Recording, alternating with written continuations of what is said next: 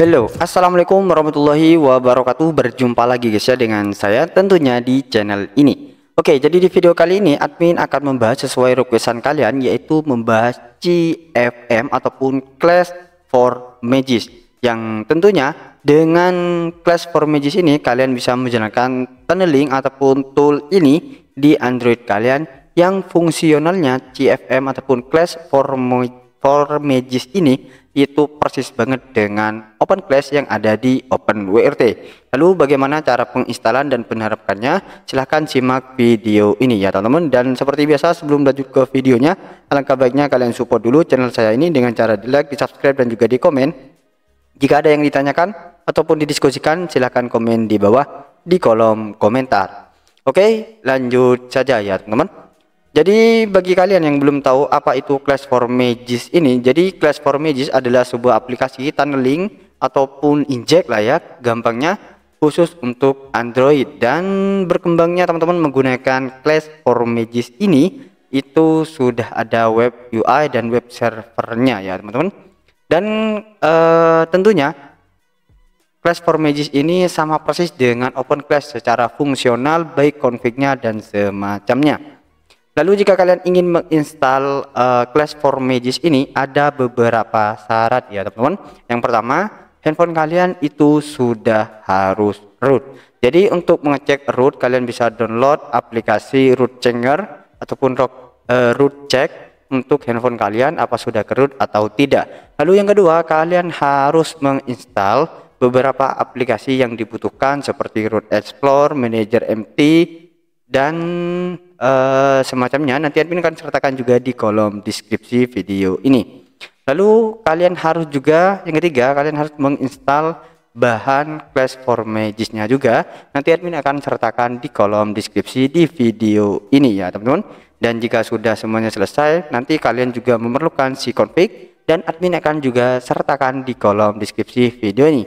Tentunya video ini admin akan membahas juga tentang web UI ataupun tampilan yang persis banget dengan OpenWRT di Luci app ya. Dan nanti linknya admin juga akan sertakan di kolom deskripsi di video ini. Jadi kalian bisa simak video ini jangan di skip skip ya teman-teman. Oke jadi seperti itu.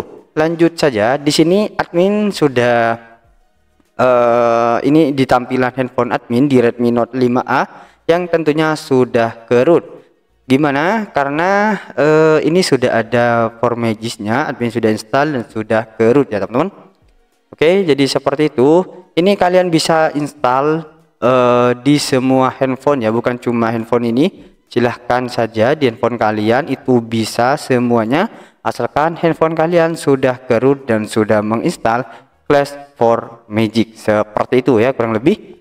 Dan kita lihat di sini Redmi Note 5A ya teman-teman, seperti ini dan ini uh, Android 11 ya. Nah, itu ya admin menggunakan uh, custom room si Android. Tentunya ini uh, terkadang ngaruh, terkadang tidak ya. Silahkan kalian cari custom room ataupun kalian menggunakan yang Orion asalkan sudah kerut seperti itu ya. Jadi yang pertama kalian handphonenya harus sudah root. Oke, jika sudah seperti ini kalian harus mendownload uh, bahan-bahannya dulu ya teman-teman. Untuk bahan-bahannya kalian cek saja link yang ada di kolom deskripsi di video ini. Jadi di sini ada bahan CFM ini yang admin akan sertakan yaitu versi 195 ya. Ini dan ini ada web UI versi 1 dan ada web UI versi 2 dan di sini juga ada busi box dan ada confignya. Nanti kalian download semua ini bahan admin akan sertakan di kolom deskripsi di video ini Tentunya untuk penginstalan uh, for Magic ini biar sukses ataupun bisa berjalan dengan semestinya, yang pertama kalian harus yang jelas itu harus menginstal Busi Box ini dulu, pastikan ini sukses di saat penginstalan, lalu kalian harus menginstal si bahan CFM-nya dulu di modul Magisnya. Oke, jadi kalian harus menginstal si uh, Magis ya teman-teman. Seperti apa Bang? Kalian cari saja banyak tutorial sesuai handphone kalian. Intinya Magis ini bisa diinstal di semua handphone di semua merek handphone asalkan sudah gerut ya. Kurang lebih seperti itu. Oke lanjut saja. Admin uh, kira punya kalian sudah gerut ya. Seperti itu lanjut ke cara selanjutnya jadi kalian bisa ekstrak filenya kalian bisa menggunakan aplikasi Zarsiver dan semacamnya di Playstore itu gratis silahkan download. Dan ini admin sudah ekstrak ya teman-teman. Jadi admin sudah ekstrak bahan CFM ya yang ini admin sudah ekstrak yang ini sudah ekstrak dan ini ya foldernya. Kita buka saja dan isinya seperti ini. Ada tiga yaitu Clash for Magic dan juga aplikasinya nah untuk aplikasi ini sesuai keinginan kalian saja ataupun uh, sesuka-suka kalian saja ya teman-teman. Di sini ada versi 1 3.1 dan versi 3.0 silahkan kalian install yang kalian uh, rasa lebih enak tampilannya. Jadi yang pertama kita kan ini sudah ke ekstrak ya. Kita harus menginstal si Busibok eh, Busibok dulu ya. Oke, kita install dulu Busibok. Kita pergi ke aplikasi Magis seperti ini. Kita tunggu sampai Magisnya eh, kebuka ya, teman-teman. Oke, untuk Magis punya admin sudah kebuka seperti ini dan ini untuk user, uh, super usernya sudah mengizinkan root explore dan juga manager empty. Untuk dua aplikasi ini untuk linknya admin akan juga sertakan di kolom deskripsi di video ini nanti ya lalu kita lanjut ke menu modul di bawah ya teman-teman. Nah ini ada menu modul di paling bawah kanan. Nah itu kalian klik saja dan jika sudah diklik seperti ini kalian bisa klik pasang dari penyimpanan. Oke kalian klik saja yang ini. Dan jika sudah seperti ini maka nanti akan diarahkan kalian kepada file manager kalian ataupun uh, apa namanya ya? Hmm, folder lah ya seperti itu folder di handphone internal kalian jika sudah kalian cari saja file-file bahannya dan ini admin sudah kumpulkan kita buka folder bahan CFM versi 1.95 dan admin install yang file bernamakan uh, sorry sorry bukan ke sini ya kita install busybok dulu jadi kita install Busybok yang ini. Oke. Okay? Kalian install dulu, kalian klik seperti ini. Nah, jika muncul seperti ini, kalian klik OK saja dan kita tunggu proses penginstalannya. Nah, ini sudah selesai penginstalannya. Jika sudah, kalian bisa back dulu, kita install semua ya, teman-teman. Lalu kita klik penyimpanan lagi, kita install si GFM-nya ataupun Clash for Magic-nya yang modul ya yang ini yang berformatkan zip oke okay. kalian klik nah jika muncul seperti ini modul class for magic kalian klik okay. dan kita tunggu penginstalannya oke okay. kita tunggu saja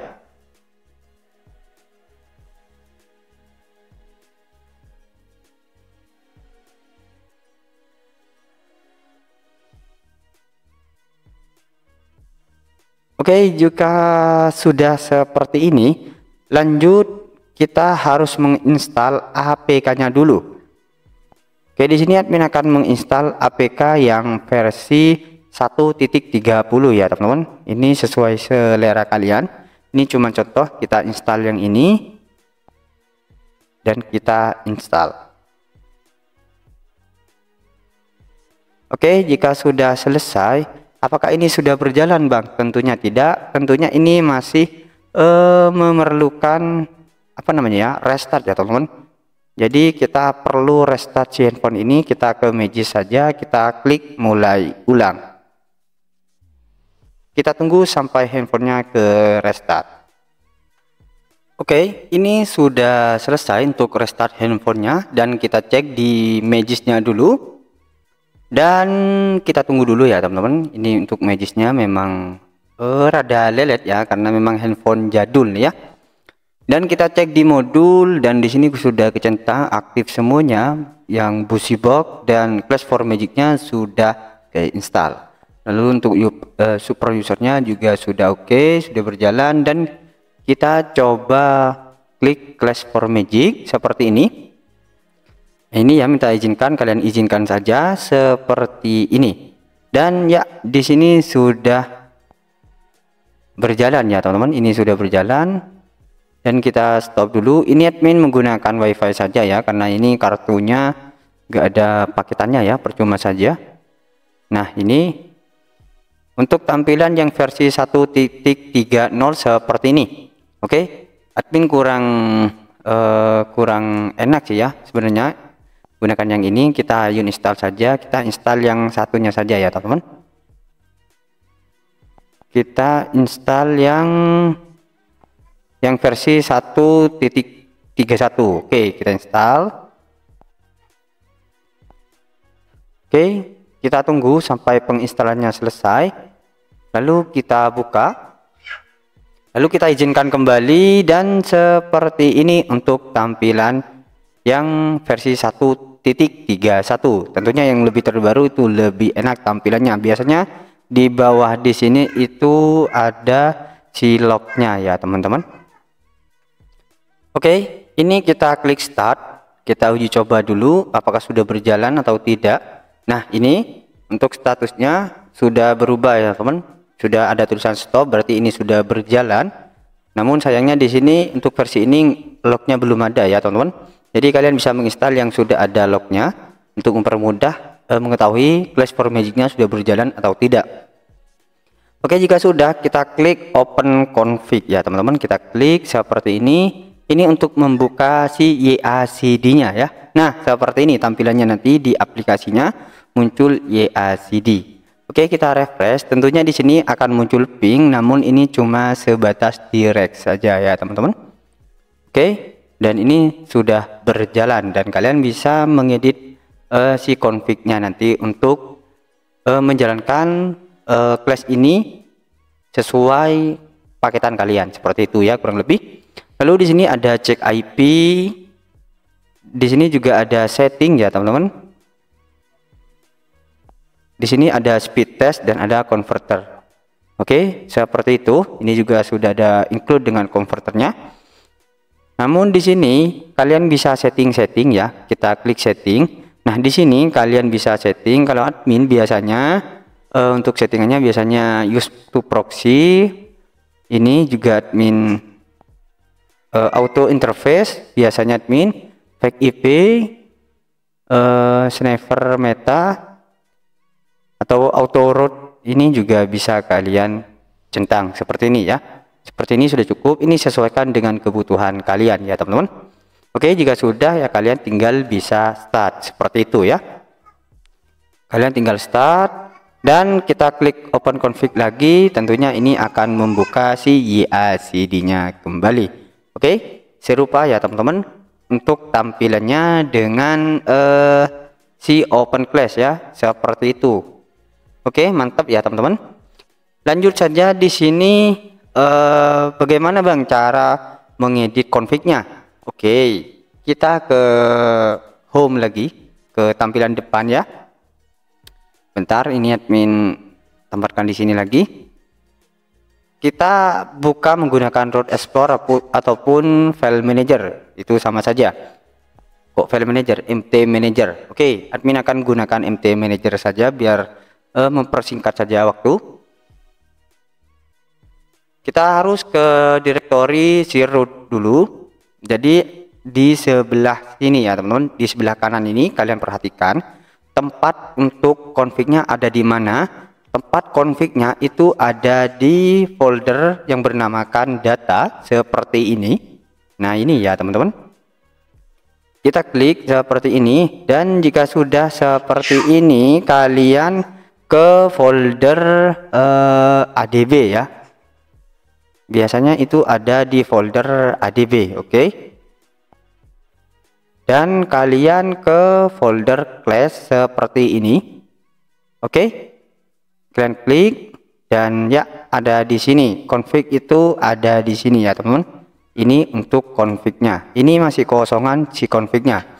Lalu untuk proxy providernya ataupun untuk mengisi akun-akunnya ada di mana bang? Ada di sini ya teman-teman. Di proxy di folder proxy provider. Persis banget dengan open class ya. Jika kalian sudah sering menggunakan open class admin yakin kalian sudah paham yang ini nah seperti ini dan ini kita bisa klik dan kita klik edit text. Oke ini kosongan. Lalu gimana bang? Ingin confignya? Nah config admin akan sertakan juga. Kalian bisa download linknya ada di kolom deskripsi. Lalu kalian uh, fokus ke sebelah kiri yang ini ya teman-teman. Jadi untuk config yang admin akan tawarkan untuk kalian yang ini ya teman-teman. Class ini nah di sini ada dua file yaitu si config itu sendiri dan proxy provider. Untuk config ini kalian gantikan yang ini. Yang ini ya teman-teman.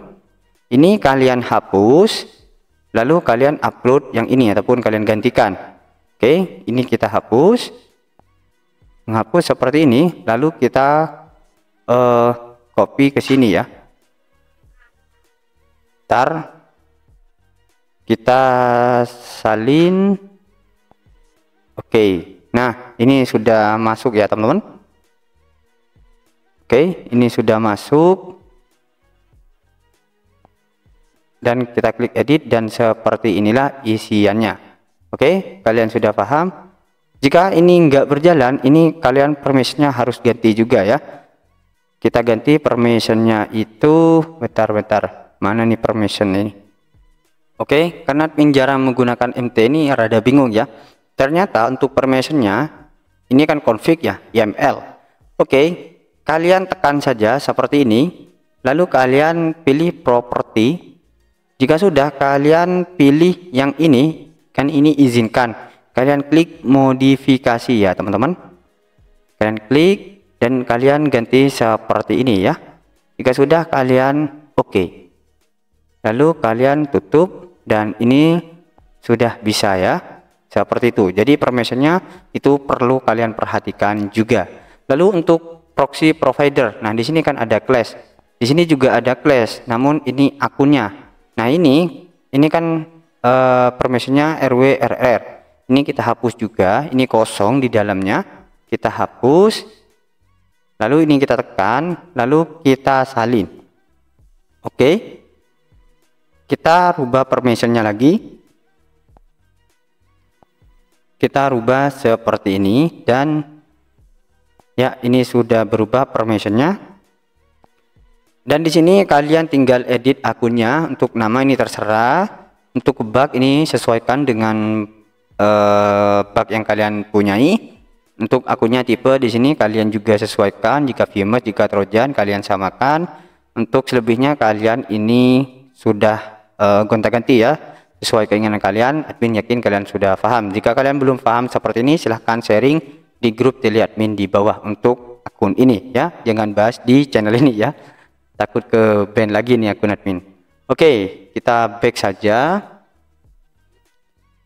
ini kan sudah selesai ya teman-teman dan jika sudah sudah eh, dirasa, dirasa sudah selesai kita jalankan si open class-nya jadi seperti itu jadi kalian jalankan class manager eh, class for magics-nya kita klik open config dan kita cek nah ini sudah berubah ya teman-teman jadi seperti itu. Di sini sudah lengkap.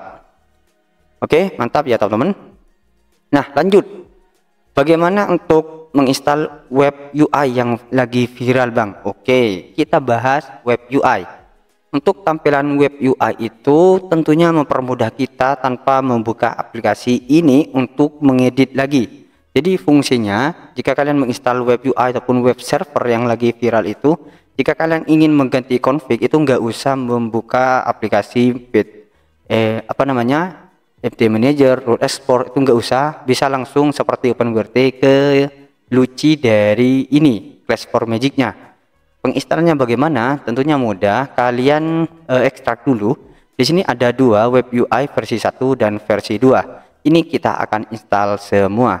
Isinya bagaimana Bang? Isinya sama sebenarnya. Jadi contoh di web UI 2 itu isinya di ini Magis PHP untuk web UI 1 itu isinya kita lihat seperti ini sama ya jadi kita coba ekstrak semua kita coba install ya bentar ini kita ekstrak dulu. Nah kita ekstrak seperti ini. Oke ini sudah selesai ekstraknya. Namun admin akan ekstrak yang versi 2 ya. Kita langsung ke Magis saja untuk penginstalan web servernya ataupun web UI nya lalu ke modul lagi. Ini kan sebelum centang kita centang lalu kita pilih penyimpanan. Seperti ini. Kalian kembali. Kalian buka foldernya. Kita install web UI versi 2 kita klik dan oke. OK, dan kita tunggu penginstalannya sampai selesai. Oke okay, jika sudah seperti ini ini sudah selesai. Dan di sini kita diminta untuk restart. Dan di sini sudah uh, ada apa namanya ya pemberitahuan jika kalian ingin mengakses web UI ataupun luci dari Clash for Magic ini IP-nya adalah satu, dua, tiga. Nah, di sini jika kalian sudah selesai penginstalannya, di sini sudah muncul bagaimana cara mengakses uh, Luci app dari uh, web UI ini ataupun Luci app dari Clash for Magic-nya itu menggunakan IP versi 127.0.0.1 pagar 2 port 80. Di mana Bang lihatnya? Ini teman-teman. Ini sudah muncul oke? Jadi seperti itu. Apakah ini bisa akses? Biasanya bisa uh, langsung bisa namun ini memerlukan restart. Kita coba tanpa restart kita akses oke? Kita buka browsernya dulu ya teman-teman. Kita tambahkan di sini. Oke? Kita ketikkan IP-nya 127.0.0.1 kita coba seperti ini tanpa port. Nggak bisa. Oke kita dengan port ya teman-teman. Kita dengan port. Bentar berapa barusan ya teman-teman? Untuk IP nya itu 0 ya 0 0 titik 1 sorry 127 titik 0 titik 0 titik 1 lalu titik 2 port 80 seperti ini. Belum bisa berarti ini memerlukan restart. Oke kita restart saja. Si uh, ini ya teman kita muat ulang handphonenya.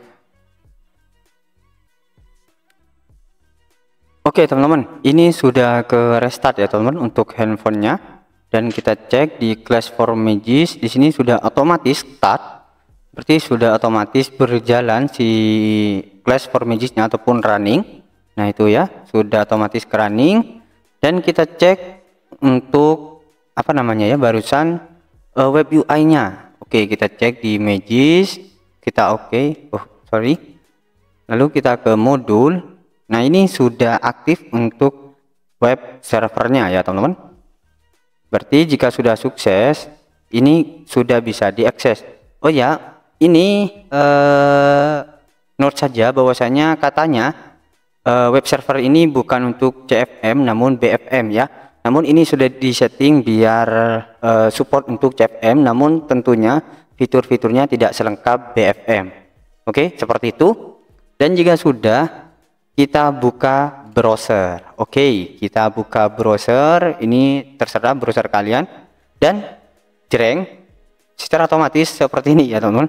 Jadi ini kita buka IP 1 titik eh, 127 titik 0 titik 0 titik 1 lalu kita enter.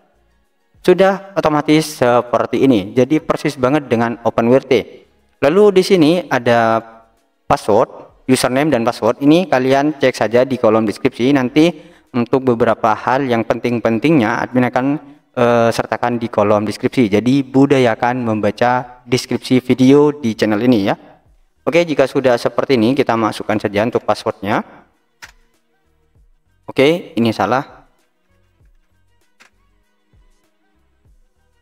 Lalu kita login dan tampilannya kurang lebih seperti ini. Untuk hostname ini sebenarnya bisa kita edit karena persis banget dengan OpenWRT ya. Dan device-nya di sini sudah kedetek yaitu Xiaomi Redmi Note 5A UGG. Untuk providernya ini juga kedetek termasuk OS dari versi uh, handphone ini OS OS Android ini ya seperti itu lalu di sini juga sudah kedetek load evergreennya baterai di sini juga kedetek CPU juga sudah kedetek networknya juga sudah kedetek lalu disknya ataupun memorinya sudah kedetek RAM-nya juga sudah kedetek dan semuanya sudah kedetek namun di sini untuk web UI servernya itu offline. Untuk selebihnya sudah online seperti uh, Clash for Magis, Trojan server dan PHP 7 servernya. Oke, seperti itu. Lanjut di sini kita cek-cek. Di sini kita di tampilan dashboard ya, teman-teman. Di sini ada MetaCube XD, Meta YACD, Like, Write. Kita cek satu persatu untuk MetaCube XD untuk tampilannya kurang lebih seperti ini ya, teman-teman. Oke. Kurang lebih seperti ini. Lalu untuk Meta YACD kita cek untuk tampilannya kurang lebih seperti ini. Oke. Lalu untuk like kita cek untuk tampilannya seperti ini. Lalu untuk write kita buka untuk tampilannya seperti ini untuk tampilan YACD dari Class for Magic yang ada di web server ini ataupun web UI-nya. Lalu di sini ada tool itu di menu status ada overview. Oke, untuk overview seperti sebelumnya. Di sini juga ada dashboard. Untuk dashboard ini perlu loading lama ya teman-teman karena ini sebenarnya web UI untuk BFM lalu ada dashboard out oke? Lalu di sini juga ada SMS inbox. Ini bisa berfungsi namun loadingnya rada lama teman-teman. Karena admin sudah uji coba dan dashboard out ataupun versi dashboard yang lama. Oke, lalu di file manager. Di sini sudah tertera tiga yaitu penyimpanan internal, Class for Magis dan Root Explorer. Jadi uh, jika kalian sudah menginstal Root Explorer maka secara otomatis akan kedetek di sini. Nah ini ya sudah kebuka untuk SMS-nya ataupun inbox-nya itu sudah kedetek, sudah tampil ya. Untuk dashboard di sini memang rada lama teman-teman. Jadi yang admin rasakan untuk tampilan overview di status ini rada lama semua untuk menampilkannya. Namun untuk selebihnya oke. Okay. Lalu untuk penyimpanan internal untuk penyimpanan internal itu uh, apa namanya ya? Kayaknya nggak berfungsi ya. Namun yang berfungsi di sini si root explore. Bentar ya teman-teman. Ini memang rada lama karena kalau sudah membuka di tampilan status pasti akan rada lelet. Oke ini untuk tampilan root explore-nya seperti ini. Jadi enaknya menggunakan web server ini ataupun web UI yang viral itu kalian ingin mengganti ataupun memasukkan uh, akun, mengedit akun itu simple tanpa membuka aplikasi yang barusan. Di sini langsung diarahkan ke Flash seperti ini. Nah, itu ya. Kalian buka config, kalian bisa edit. Seperti itu. Lalu jika kalian ingin mengedit akunnya, nah akun seperti ini, kalian klik akun dan kalian sudah bisa edit seperti ini. Oke, simple ya teman-teman menggunakan web server ini. Lanjut jika class class for magis di sini eh, apa namanya ya not found ya nggak bisa termasuk di penyimpanan ini juga nggak bisa. Oke lalu di server di sini ada base eh, decode encode lalu speed test ini juga sudah ada Lalu di sini juga ada menu reboot, lalu di class. Di sini ada menu ya uh, YAML config, namun ini not found. Lalu YAML generator ini bisa seperti ini ya. Berarti ini bisa dijalankan, gak error. Lanjut di sini ada class log. Ini bisa ya teman-teman. Nah itu ya. Ini bisa, gak error. Oke, seperti itu. Lanjut di sini ada root x root tool.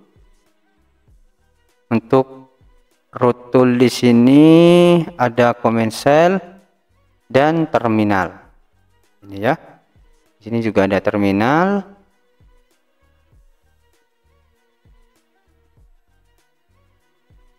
Ini rada lama juga.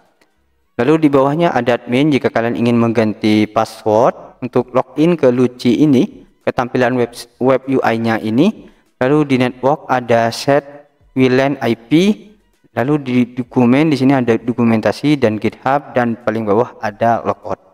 Jadi kurang lebih seperti itulah jika kalian menggunakan web UI ataupun web server uh, maksudnya menggunakan tampilan web UI ini di Clash for Magic oke okay? Jadi seperti itu ya teman-teman untuk video kali ini admin kira uh, sudah uh, bisa dipahami dengan enak ya. Cara menggunakan Clash for Magic ini di Android tentunya dengan akses root. Oke jika punya kalian handphonenya belum root tentunya kalian belum bisa menjalankan Clash for Magic ini teman-teman. Oke mungkin uh, cukup sekian ya video kali ini. Semoga bermanfaat sampai jumpa lagi di video admin selanjutnya. Assalamualaikum warahmatullahi wabarakatuh. Bye